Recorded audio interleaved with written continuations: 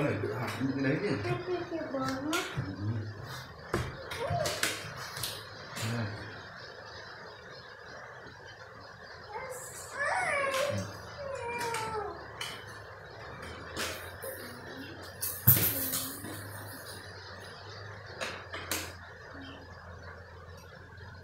Với mọi người thì tôi không biết tuy nhiên đối với tôi ấy, thì ờ, tôi thấy rằng là hát ru nó sẽ có hai khả năng thứ nhất là bạn hát à, những cái điệu những cái điệu hát của các bạn nó nó rất là hay làm cho bé ngủ. Và cái thứ hai là các bạn hát ừ, chán quá.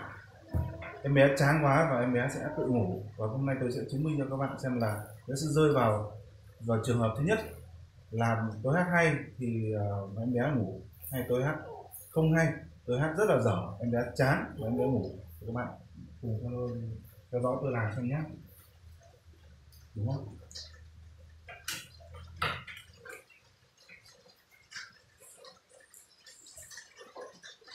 Các bạn hãy ủng hộ chi nào.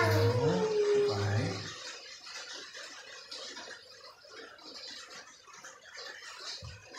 À. thôi con học đi con học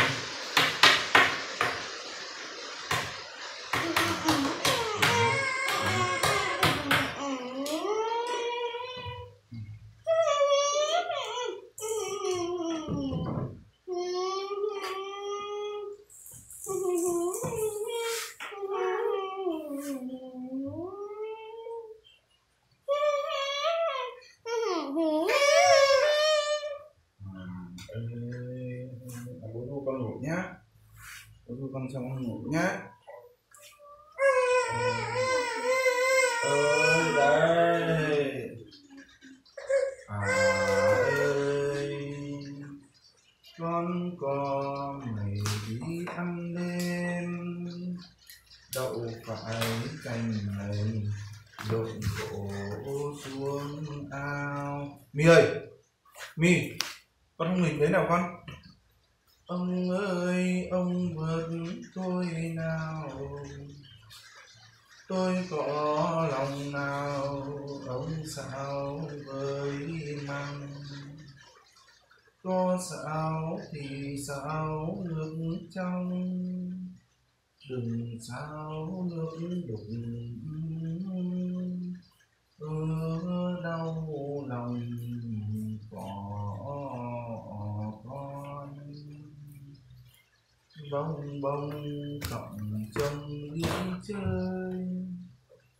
Đi đến chỗ lội đánh rơi mệnh chồng. Ông ơi, tôi mượn đầu xong để tôi múc ngược. Ơ cọng chồng tôi đi lên.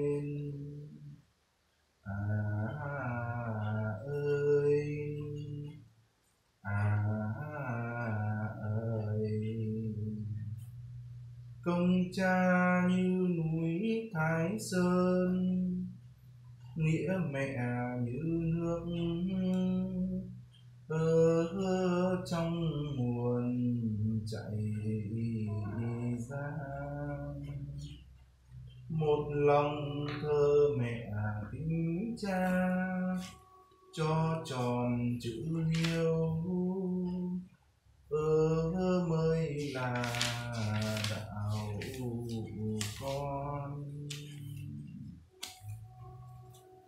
vợ chồng nghĩa nặng tình sâu thương nhau cho đến ở bắt đầu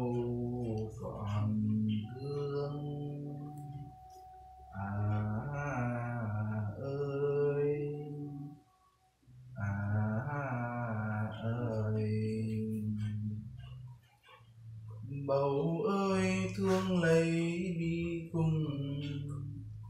Tuy rằng khác giống ờ, nhưng chung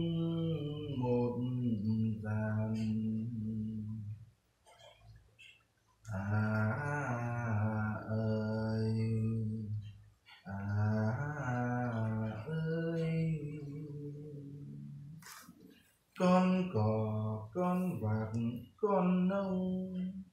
Con ngủ chưa? Sao mày dẫm lúa?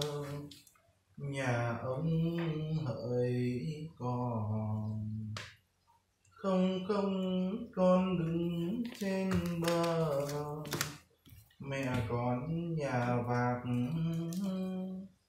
đỗ thừa cho con. À ơi à ơi.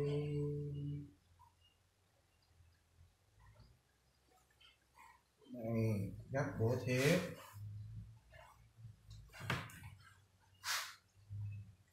Như thế các bạn thấy đấy, em bé đã ngủ rồi. Cái phần mà để nhận xét là uh, em bé khi mà khi mà đối với tôi ấy, thì khi mà hát du bị sao em bé ngủ thì đối với tôi nghĩ rằng là tôi hát rất là dở nên em bé sẽ ngủ đối với các bạn thì sao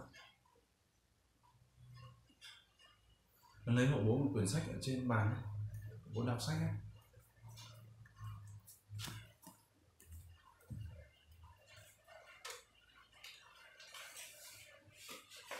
Cầm nó gọn gàng quá.